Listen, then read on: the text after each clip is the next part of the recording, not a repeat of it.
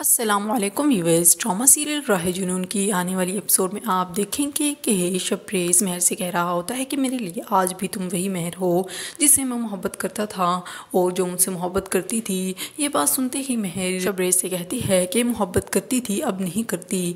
ये बात सुनते ही शबरेज़ तो उदास हो जाता है। वो ये बात नहीं समझ पा रहा होता कि हे महर, उससे किस बात पर बदजन है? जो वो उसकी बात भी सुनने को तैयार नहीं है, पता नहीं कौन कौन सी की महर को गलत फहमियाँ हैं, वो बहुत परेशान होता है।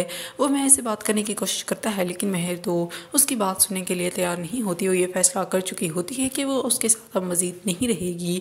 इसलिए वो सबको ये बता देती है कि, मुझे इस घर की बहू भी ना समझा जाए।